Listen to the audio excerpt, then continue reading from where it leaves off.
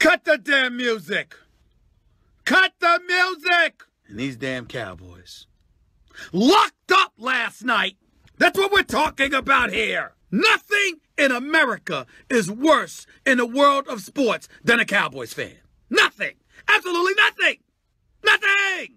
Could have find Cowboy fans when all of those years of ineptitude.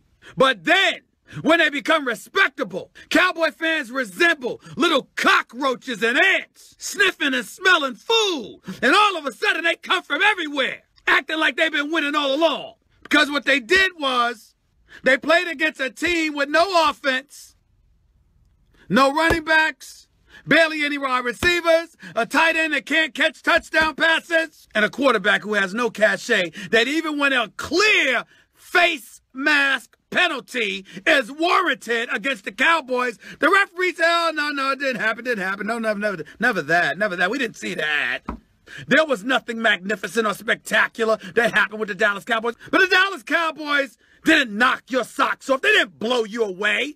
For three quarters, what was it? I mean, damn, the score was 10 to 9.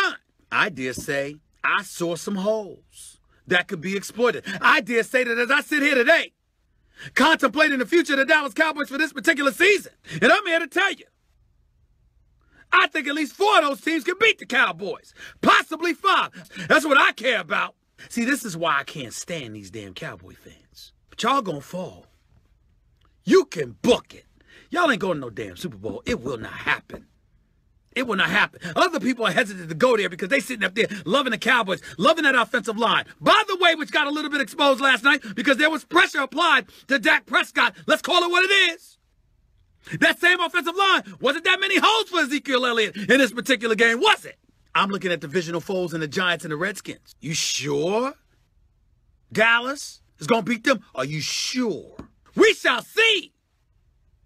We shall see. And dare I say, based off of what I saw last night, my future's looking pretty bright for the for somebody that's root for the Cowboys' demise. I think it's looking pretty bright. It's the fan base I can't stand. I just can't stand y'all. I just needed to get that off my chest.